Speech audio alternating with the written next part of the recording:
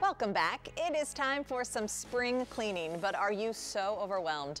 you just don't even know where to start. Or do you struggle to let things go? Our next guest is mm-hmm. the author of the new Amazon best-selling book, 17 Spatulas and the Man Who Fried an Egg. Reclaim your space mentally and physically. And she's also the owner of the Organizing Mentors, Lisa Geraci Rigoni. Welcome to Great Day. Good to see Thank you again. You. Good to see you too. Thanks. It's that time of year we all think about it. Sometimes you get to a room or even just a drawer like, nope, not today. Overwhelming. Overwhelming. Shut it again. Uh-huh. Mm-hmm. Yeah. When it comes to this book first, uh, 17 Spatulas and the Man with It's the Fried Egg, it's a cute title. How'd you come to that?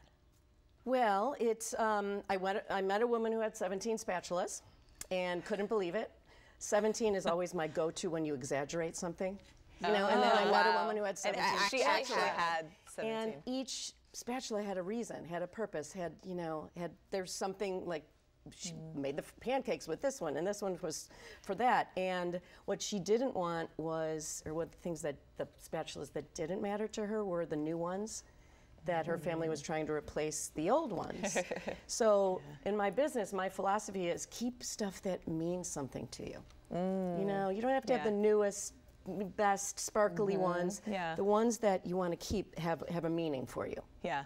And then the man who fried an egg uh, is a gentleman I worked with for his story goes through the book. And I worked with him for about eight months. And Wow. he was a hoarder. Oh, okay. I and, was like, he must have a lot of yeah, stuff. he did. And he had a very traumatic event happen. Oh. And um, so it took us a long time to go through that. But the therapy, he was also working with a therapist. Mm-hmm, and just the work we did with him changed him and changed me. Mm-hmm. Yeah. And at the end of eight months, we obviously, well, not obviously, couldn't get in his kitchen. And he called me and he said, I just want you to know I fried an egg in my kitchen for the first time in eight years.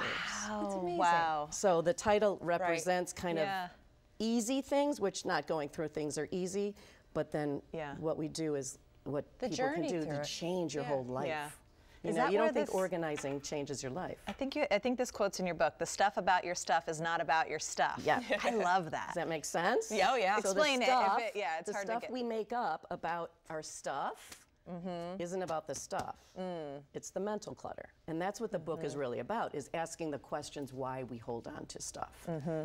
Yeah. so- You brought a stack here I for did. us, which I think at this time, you know, tax time too, everybody's going through. We got all this, these papers. This was this is Give us my some help. this is my stack of stuff that we my husband and I we we have stacks. It's okay. Everybody Yeah. does. But the thing when there's piles of it, and this is a small pile, right? Yeah. Yeah. What I rec- what I recommend, one of my tips, turn the turn it over because the stuff on the bottom is going to be the oldest. And Oh, if you so you get the to it little first. system LITL, the first step is let it go. What are the things you know you don't want? Well, I haven't looked at this in 10 years, so I Right. Ah. can get rid of this. We do it with clothing. Like on your shelf, Yeah. all the sh- sweaters or the sweatshirts or the, you know, flip Yeah. them over. Because you want to start with what you feel comfortable getting rid of if you want to release it from your life. If not, you're like, mm-hmm. oh, I forgot about this sweater or I didn't, you know, I didn't finish this book. Then you keep it. Then you if keep you feel it. that way. So your Okay. decision Shop in the closet. Yeah. I've been Yes, shopping in my closet lately. I'm like, oh, I forgot that Forgot you had sweater. that. Well, Yeah. have you ever walked in your closet and it's full of beautiful things? I have nothing, nothing to to wear. wear. Yes. Yeah. Because there's Yes. just too much. So if it's Mm. it's you surround yourself with things that mean something to you. Yeah. Or have you know, like my mom kept sweatshirts that had spill on it because I gave it to her. Aw. And she was fine with I that. understand you know, that. so keep things, Yeah. you know, that means Yeah. something to you. It's not making everything pretty and organized. You know, some people love that, but Right. most of my Yeah. clients, most people in the world just want to be able to find everything, have like not crazy clutter in Yeah. their head when Yeah. they walk into a room. Something meaningful. You help so mm-hmm. many people, Lisa. Congrats on the book. Thank I know it's been a you. bestseller. And for help in reclaiming your home and mine, check out theorganizingmentors.com to get in touch with mm-hmm. Lisa. Thanks so Thank much. you. You're egg welcome. cookies are yes, cute, and too. have a cookie And too. little eggs.